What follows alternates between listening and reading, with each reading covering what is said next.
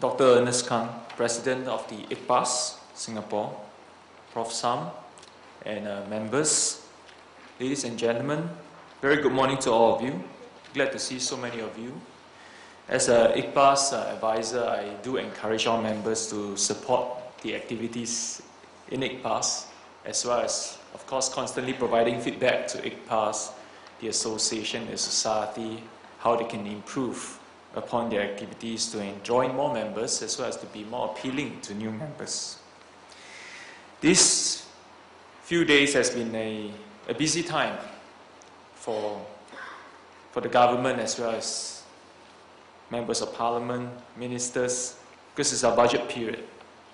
And I think last two days we had a, uh, quite a vibrant, I would say, and dynamic debate within parliament itself on the budget.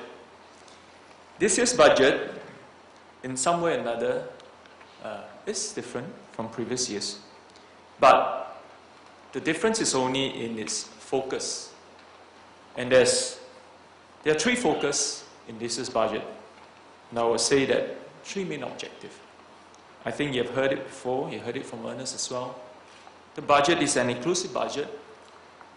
So we focus on the inclusiveness, allocating resources, especially for those who have fallen behind or for those who need help, elderly, disabled. Secondly, it's about investing in the future. Investing in the future features greatly every single year in our budget, whether it's education, whether it's hardware or software. We're investing in the infrastructure for the future. Thirdly, and probably one of the most important aspects, in each and every year, we have to look at the whole economy, how it's doing. And this year in particular, in particular for the economy, we're looking at economic restructuring. As you know, in the last two days, if you've been caught up with the debate itself, you know that there was a lot of call for help for our business sector, and especially the SMEs. Almost more than half the MPs been asking and continue to advocate for the SMEs, in their survival, their sustainability, their going concern. And I was actually joking from members that I came from two other ministries that were pretty busy in the last couple of years' budget. It was, I was in the Ministry of Transport and the Ministry of Community Development, Youth and Sports. Those were ministries that get the most questions. And when I was assigned to Ministry of Trade and Industry, I thought, well, that's great. This time I'm, I have an easier time because the economy is doing well. And I think usually MTI doesn't get as many questions on, during the budget debate. But after the first two days, I realized I was wrong. There was more questions about the SMEs and about the roles of some of our MTI stat boards as well. Nevertheless, it is all good. It's been a good debate. It's all good on a budget where we try to manage and cater for all the needs of the different parts of the society, different segments of the population, and enabling the business sector to restructure, go through a transition process so that we can build a more sustainable economy and a stronger Singapore.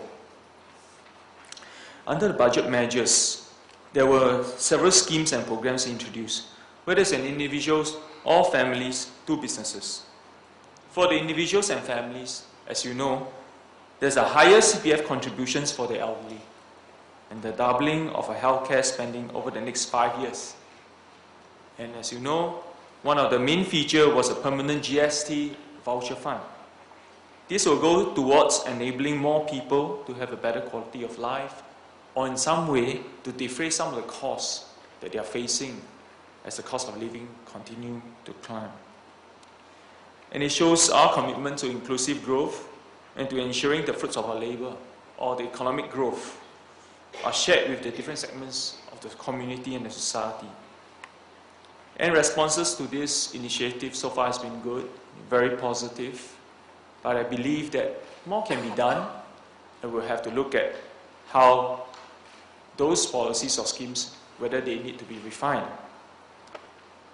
We have some measures for businesses as well. Well, as you know, ICPAS has organized a roundtable. The feedbacks gotten, gathered. Singapore Business Federation, uh, one of the committees I initiated and I'm advising them right now, the Small Medium Enterprise Committee, SMEC, they have also gathered feedback and put up 17 recommendations to the MOF before the budget was announced. Several of the feedback gotten from both Roundtable and SMEC, as well as other chambers of commerce and trade associations, were accepted or were considered seriously, and some refinement was done. So, as you know, many scream for the cash flows. Really, small medium enterprises, one of their biggest challenges on a day to day basis, as we always have told many of the government stat boards, as well as our public servants, that the businesses, even if we want them to go through transition, if we want them to restructure, we want them to be productive, they have their day day to day bread and butter issues and the cash flow to be concerned about, to worry about, to survive. And as such, I think for the first time, help, helping businesses cope with rising operating costs in a slow, slowing economy, we're giving one-off cash grants of up to 5,000. Well, 5,000, the last two days debate, some felt, well, that's a, that's a amount it's not very high, it's not very big. You know, it's manageable, it's a good gesture.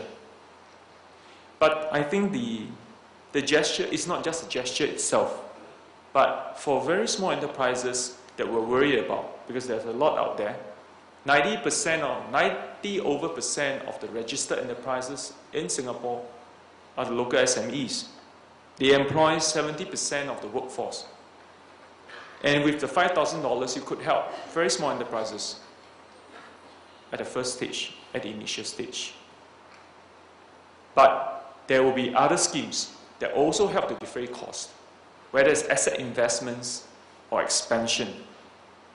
I think the schemes are many out there, and it takes time. Of course, it takes time to digest. But even when the cash grants of 5,000 seem small, the grant to help all of these companies itself is not be all and end all. There are, of course, other programs and schemes that yet to be announced. Because the next two days, including today, MOF is going to address questions on all the different schemes and MTI tomorrow that we will actually share more about what are the things that can help the small and medium enterprises. As such, some 320 million in funding is also expected to be distributed under the scheme.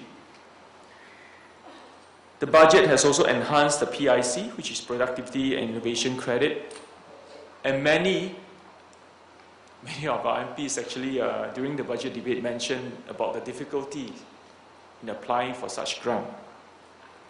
And we hear, we hear that very loudly and clearly, even before the budget statement came out. And I think refinements been done. I think some of the new schemes may be announced later. Well, we also saw enhancement to employing the elderly. We want to encourage enterprise to employ the elderly because not only because people are living longer, but we believe that as they live longer, they will be healthier, and I think they can be a productive workforce as well. So special employment credit to encourage enterprise to employ and retain older Singapore Singaporean workers above 50 years old. This will also, or we hope, can help offset some of the tightening of the foreign labor schemes itself. Because as the DRC has been reduced, the ratio has been reduced by 5%, and as you know, many of the companies are feeling the crunch. We have to find all sorts of ways, whether it's productivity scheme, restructuring of their own business model or processes, but also have different schemes to help upgrade the current workers that they have or to employ workers that can be productive but not in the workforce at the moment, or in the workforce but not being hired or in the workforce, but not being hired in the right roles or product, a more productive role. We hope that some of the schemes will also help offset, as I earlier mentioned, about higher CPF contributions, and also especially for these experienced workers. We believe this is a win-win situation for all businesses because hiring older workers can offset some of the depletion in labor and also tap on these schemes, but it also, we believe these older workers has the wisdom and experience to contribute. Another series of budget initiatives to help businesses was to focus on skills upgrading. The government recognizes the need for businesses to continuously upgrade the skills of the workers. As you know, we are big into CET, continuing education training. We're big into skills upgrading. When you tap on those schemes, you actually almost get subsidies up to almost 90% or even more. Let me also emphasize that we want to encourage businesses to upgrade all the workers so that you can become productive and competitive. This will take time. And I think time was also what some of the members of parliament mentioned that time is needed as we go through this restructuring. How do you smoothen things out? And we hear you.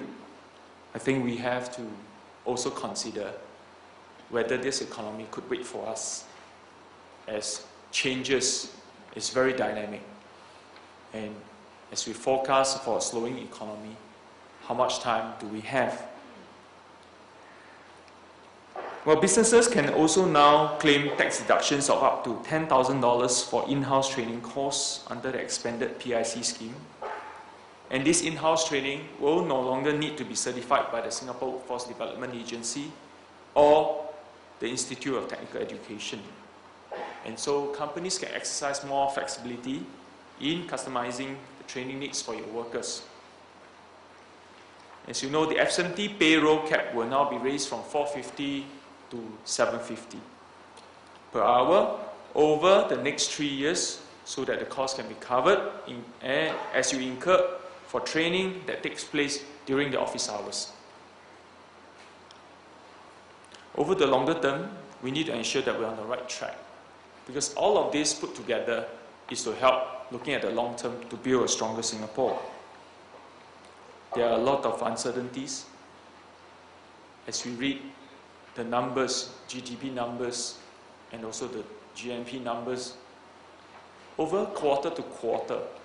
If I look at the sector growth, manufacturing continues to be a very important part of Singapore's economy. They have the volumes of jobs. End of the day, we want to grow this economy. We want to keep this economy vibrant. It's all because of the jobs and the jobs for our fellow Singaporeans. That is a very important aspect to understand how economic policies, how we derive some of the economic policies, how we draw up some of the ideas and initiatives as well.